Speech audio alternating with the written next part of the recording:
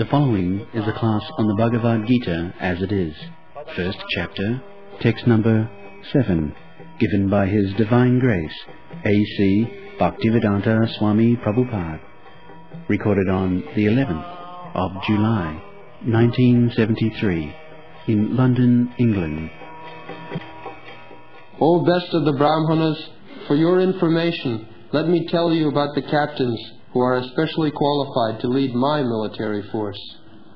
So formerly, 5000 years ago, the same system, military, ordinary soldiers, then the captain, then the commander, the commander-in-chief, as there are gradation.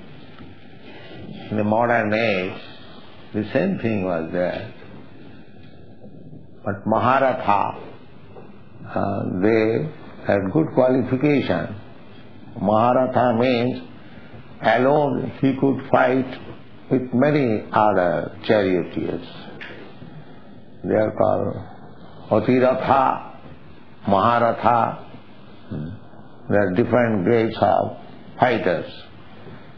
So, uh, so far, Pandavas are concerned, their son, Saubhadra. Saubhadra means Abhimanyu.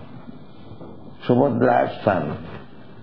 Because he was Subhadra's son, his name was Saubhadra. Draupadi's son, they are called Draupadeya. In Sanskrit, just like Bhagini, sister, Bhagini. Her son is called Bhagineya, Bhag nephews. So there is link. As soon as we speak Saubhadra, that means Subhadra's son. The Subhadra's son, he was only 16 years old at that time. He was married with Uttara, the daughter of Maharaj Virat. So, they are all Maharathas, ordinary, not ordinary fighters. This Abhimanyu was killed by conspiracy by same commander-in-chief. Bhishma, Karna, Dronacharya, hmm, Asvatthama, they all surrounded him and they did not allow him to come out. They are very experienced commanders. So this, this is Kshatriya spirit.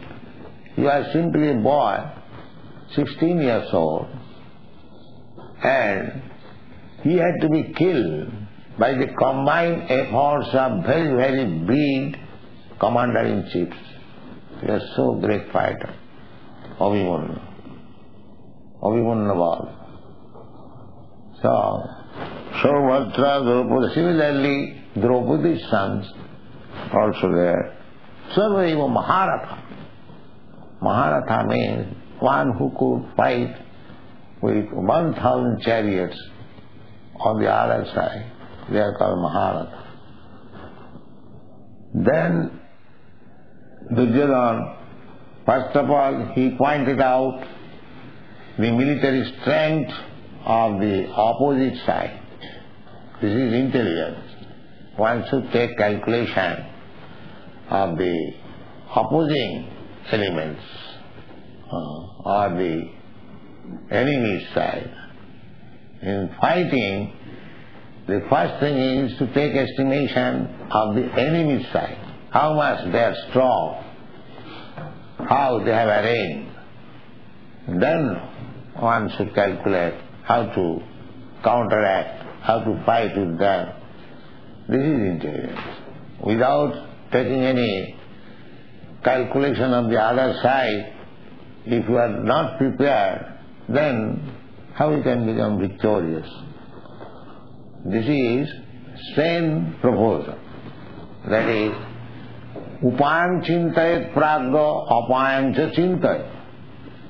A pragya, an intelligent man, not only think of the bright side, oh, or this business or this fight or this, and so many things we have to deal with.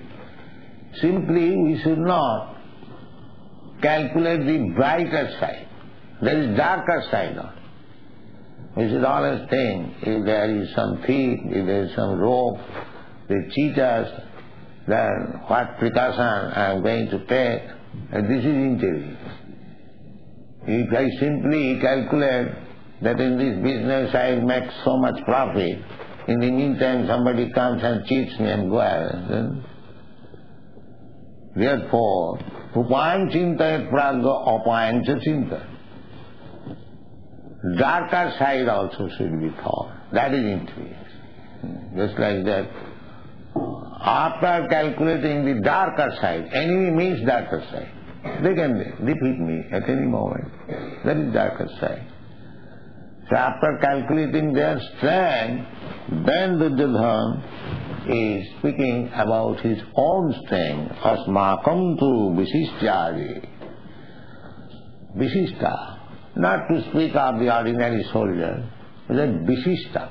Visishta means to are specifically to be mentioned. High officers. Asmakam tu visishtaji. Pramini bodha dvijottama.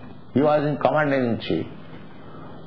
For 18 days there was fight and one after another the commander-chief was killed and 64 crores of men were killed in the battlefield of Kurukshetra.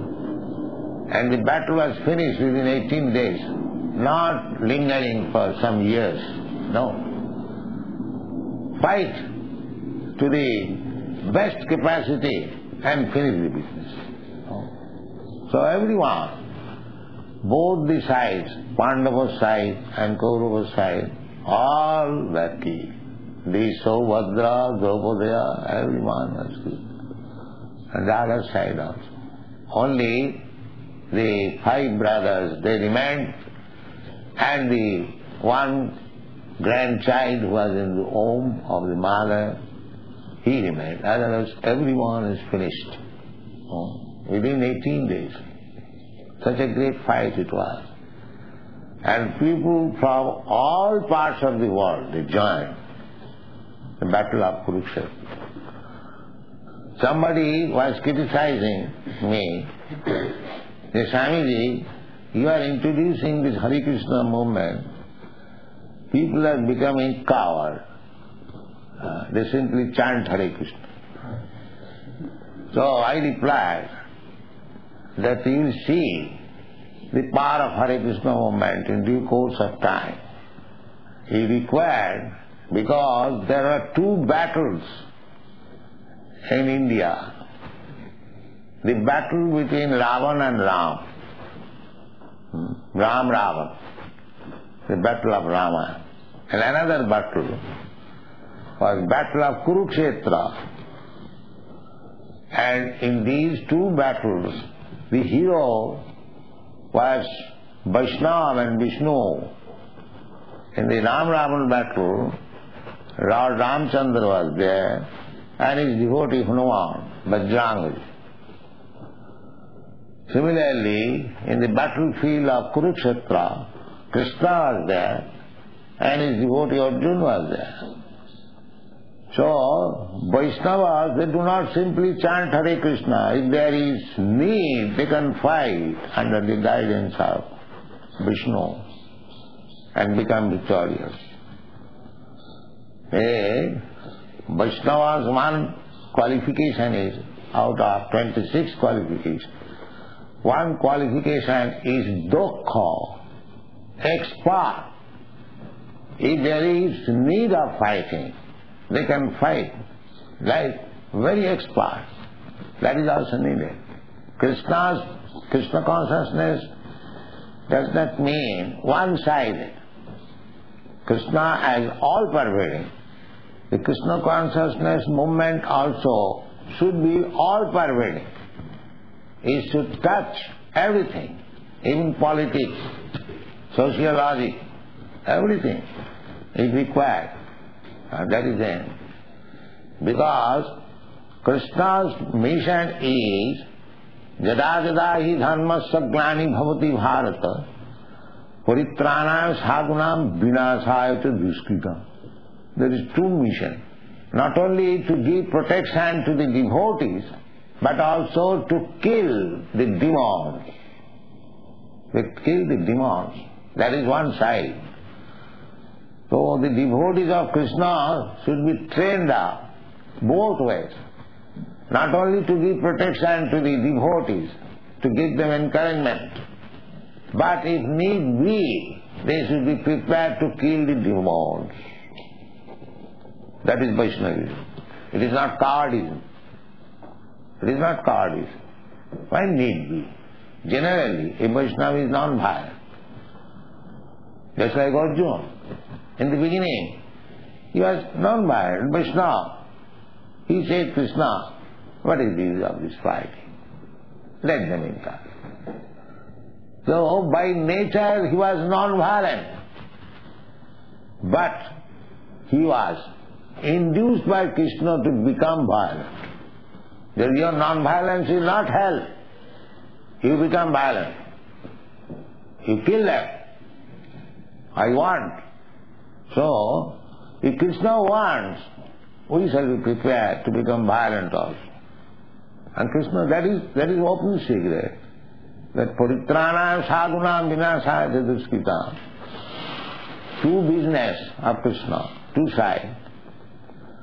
So, those are devotees of Krishna, they should be trained up both ways. They should be prepared. But generally, there is no question of becoming violent, unnecessary as the modern politicians unnecessarily they declare war. A Vaishnava does not do so. No, unnecessarily. There is no need of it. When it was completely impossible to settle up the things between the Pandavas and the Kauravas, then Krishna said, all right, then there must be fight.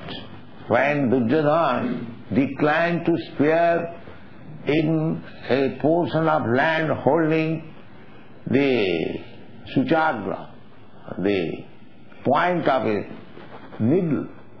He refused that I cannot spare in so much land which can hold the point of a needle. Then the war was declared. Uh, there is no question of settlement. Otherwise, Krishna requested that these five Pandavas, they are Kshatriyas. They cannot become merchant or Brahmana. Brahmana's profession is patan, patan, jajan, jajan, dan, pratigha. Brahman can take charity from others. A sannyasi can take charity from others. Not a Kshatriya or Grihastha. No, that is not allowed. So, they are Kshatriyas, they cannot take the profession of a Brahmana, neither they can take the profession of a mercantile man, businessman. They must have some land so that rule over, take taxation, and that is their living means. So, spare only five villages to these five brothers and settle up. Or what Duryodhana replied, no sir. What do you speak of five villages? We cannot spare even so much land which can hold the point of needle. Then the war will. So Vaishnava, they are non-violent. But if need be, they can become violent, what Krishna said. This is the battle of Kurukshetra. So, anyone? Or end here? All right, end here. Chant Hare